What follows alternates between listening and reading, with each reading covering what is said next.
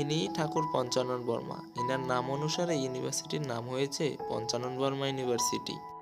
So লেস্ট started এখন আমরা ফরেস্টের ভিতর দিয়ে ইউনিভার্সিটির দিকেই রওনা দিচ্ছি। তবে সম্পূর্ণ পথ তো আর দেখানো সম্ভব নয়, তো ভিডিওটা এখানে স্কিপ করি। অবশেষে আমরা ইউনিভার্সিটি পৌঁছেই গেছি।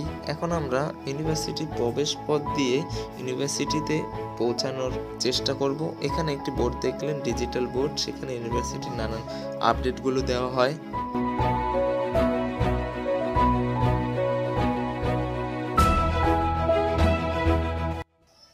বন্ধু, ভিডিওটি সম্পূর্ণ দেখো, কারণ ভিডিওটির শেষে সুন্দর একটি দৃশ্য রয়েছে। এটি ইউনিভার্সিটির মাঝখানে সুন্দর একটি গার্ডেনের মতো। ওপরে বিভিন্ন ডিপার্টমেন্টগুলো রয়েছে, ইংলিশ, কেমিস্ট্রি ও অন্যান্য বিভিন্ন ডিপার্টমেন্ট।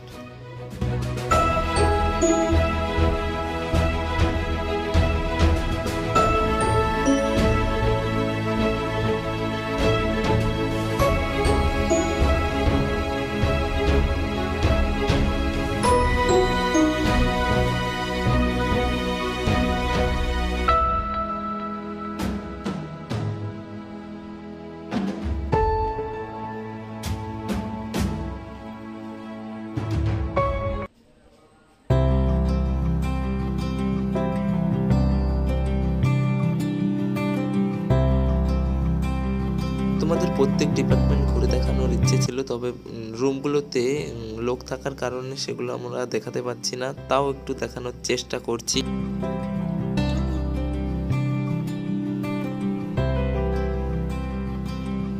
এখন তোমাদের সামনে রয়েছে ইউনিভার্সিটি লাইব্রেরি রুম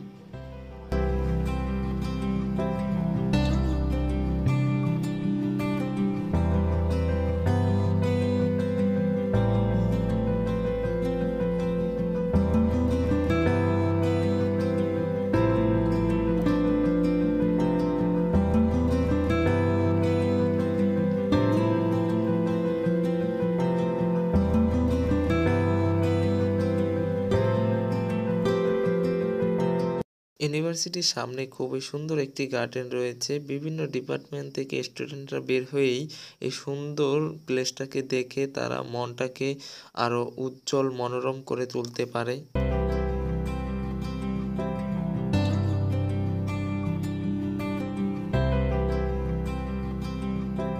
ইউনিভার্সিটির সামনের প্লেসটাও খুবই সুন্দর। ওইখানে নতুন করে আবার বিল্ডিং হচ্ছে। তবে এটি মনে হচ্ছে কোনো হোটেল বা রেস্টুরেন্ট হতে পারে। এর সামনে এখন লকডাউনের পর ইউনিভার্সিটি খুলে দেওয়াতে স্টাফরা আসছে। তার কারণে অনেক গাড়ি ঘোড়া দেখা যাচ্ছে।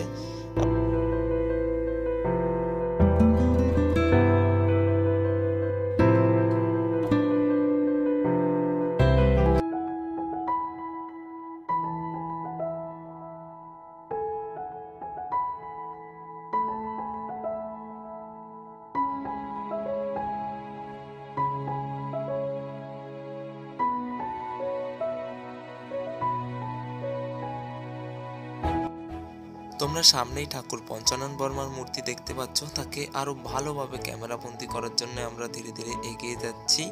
তার নাম অনুসারেই ইউনিভার্সিটির নাম হয়েছিল পঞ্চানন বর্মা ইউনিভার্সিটি।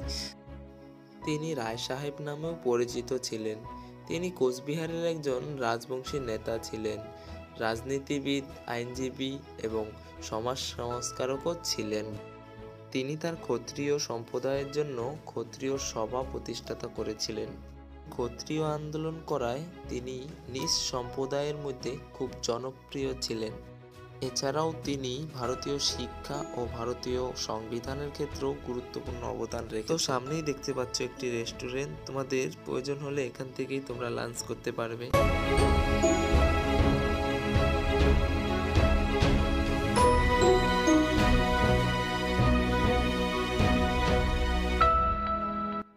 বন্ধু, এই ছিল আমার ফার্স্ট ব্লগ কমেন্টে জানাতে ভুলবেন না, তোমাদের কেমন লাগল? ভালো লাগলে একটি লাইক করতে ভুলবেন না।